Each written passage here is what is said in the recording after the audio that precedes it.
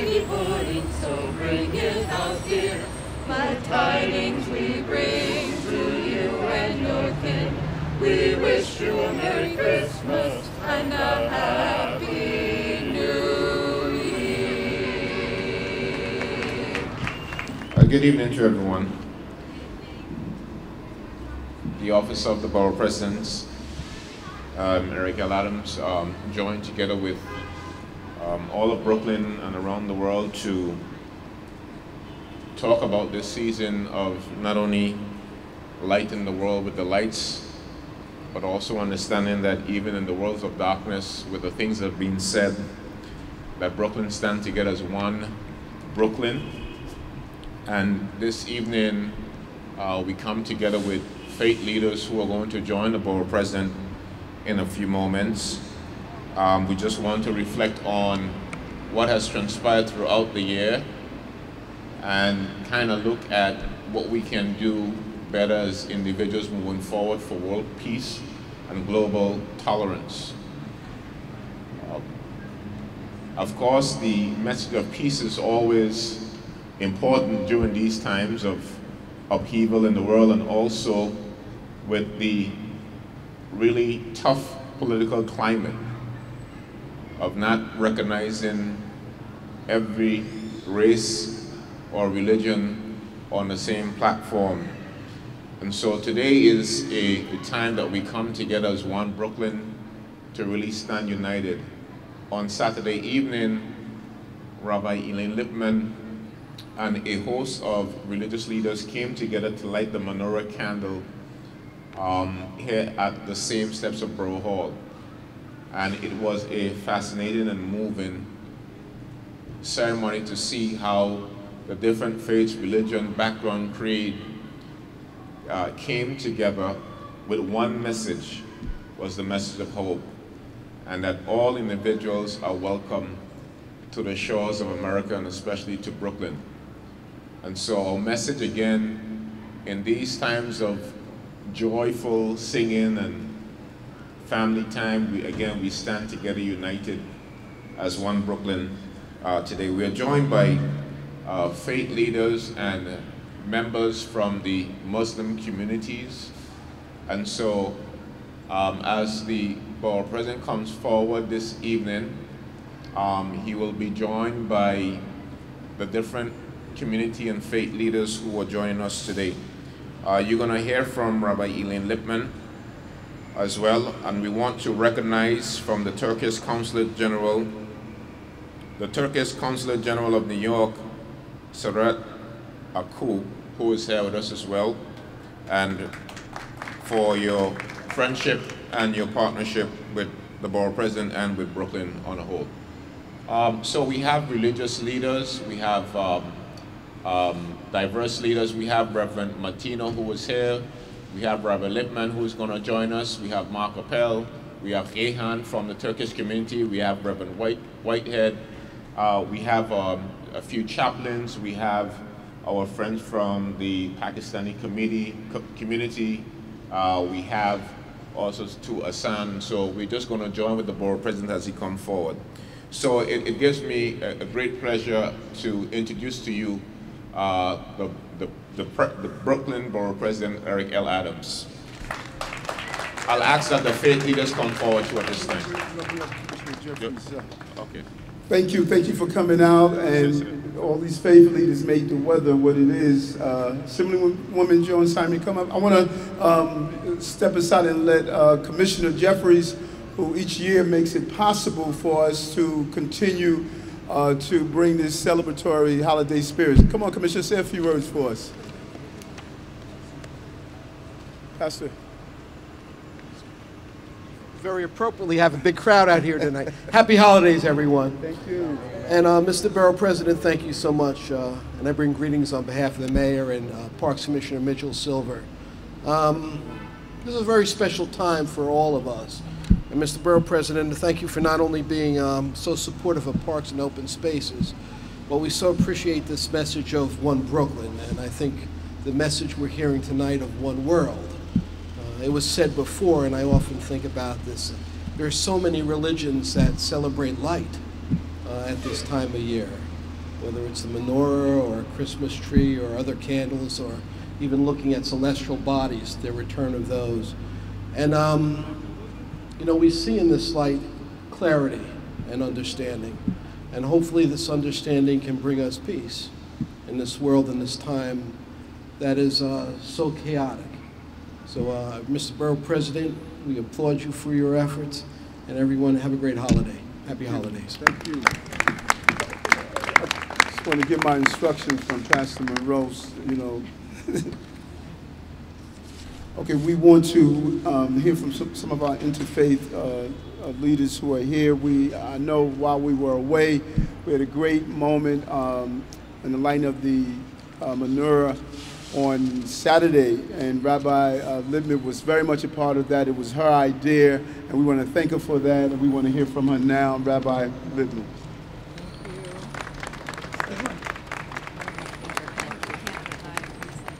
Yes, yes. Good evening, everybody.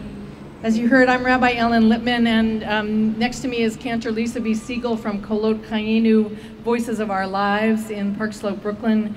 And uh, as the borough president said, on Saturday night we had several hundred people gathered here from all the faiths of Brooklyn, leaders from every faith speaking uh, with one message. That message was, as we called our event, Shed Light on the Darkness say yes to supporting Syrian refugees, and say no to anti Muslim hate. Or, as one of our speakers expanded it, say no to hate and say yes to love. Say yes to love. And we were gathered this way because we were hearing an awful lot of messages that seemed to us to be saying, say yes to hate. And it felt like it was time to stand up and gather as many voices and speak as loudly and as often as we need to to counter that message and to remember that we want to say no to hate as loudly as we can and yes to love. I go back um, always thinking of my family and so many other families in Brooklyn who came through Ellis Island. And I remember always what it says at the base of Lady Liberty Give me your tired, your poor, your huddled masses yearning to breathe free. Why should anybody feel less welcome now than my ancestors may have felt 100 years ago, than some of your ancestors felt longer ago? And we have to note at the same time, of course, that sadly, the racism that led slaves to be brought here against their will and without desire continues to show its ugly face everywhere around our country. And so we continue in that way as well to say no to hate and yes to love. Maybe our country can be again a welcoming place. Maybe it can be for the first time a place of freedom for the descendants of African slaves. Maybe it can become a place of welcome and of love. Give us your tired, your poor, your huddled masses yearning to breathe free. Hear those words from Cantor Siegel as well.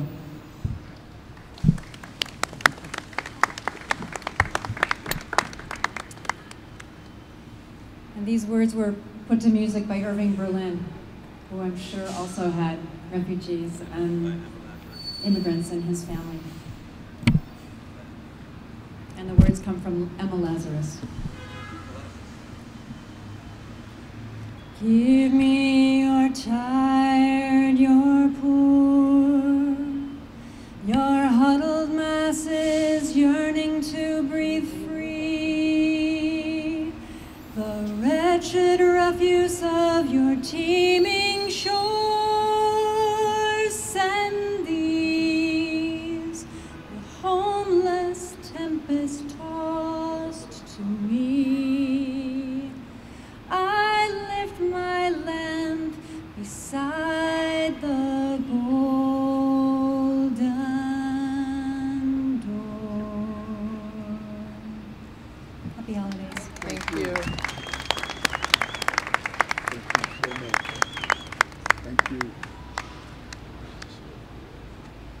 want to bring Reverend Martino.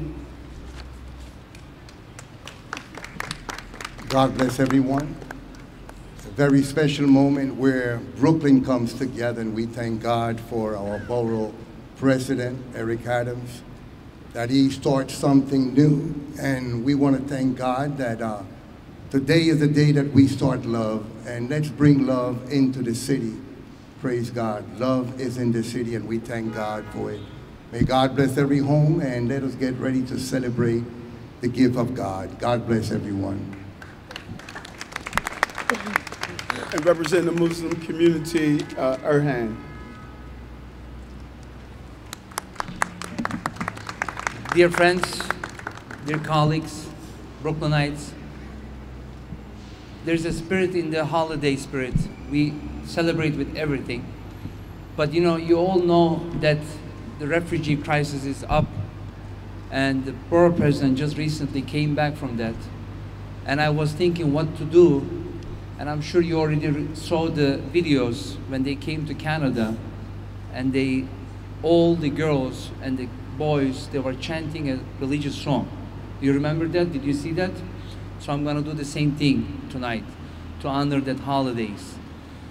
طلع البدر علينا من ثنيات الوضاء وجب الشكر علينا ما دعا لله دا أنت شمس أنت بدر. أنت نور على نور أنت مصباح السرايا يا حبيبي يا رسول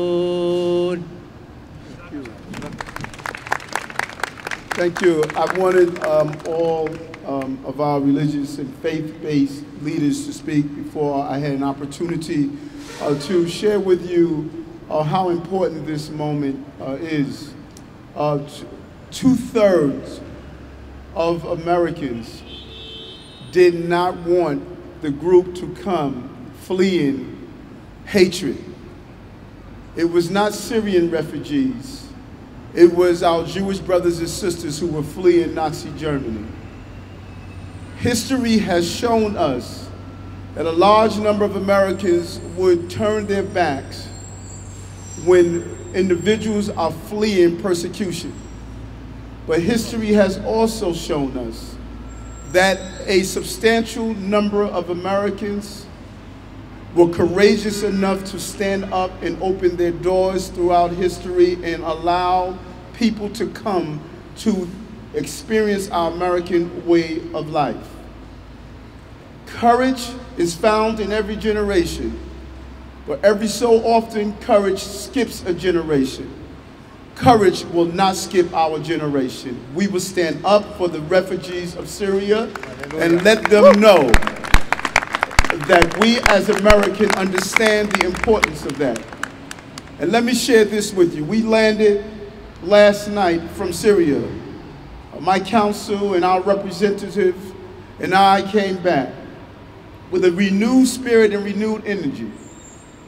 When you look at the faces of those children who love America and they receive cards of greetings from school children here in Park Slope, Brooklyn, when you saw that the vision of hope was in their faces, we cannot allow them to be radicalized. We must Americanize and have them embrace democracy as a way of life.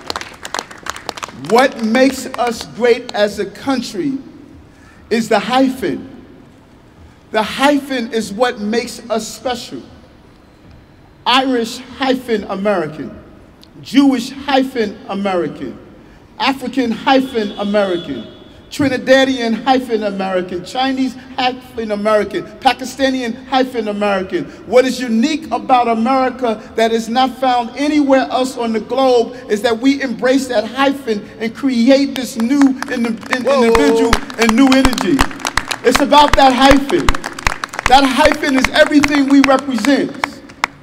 We cannot allow anyone to take that hyphen away from us. We would out Trump Trump and let him know that Americans will never turn their backs on any group that needs to find safety and refuge. Those children are so important.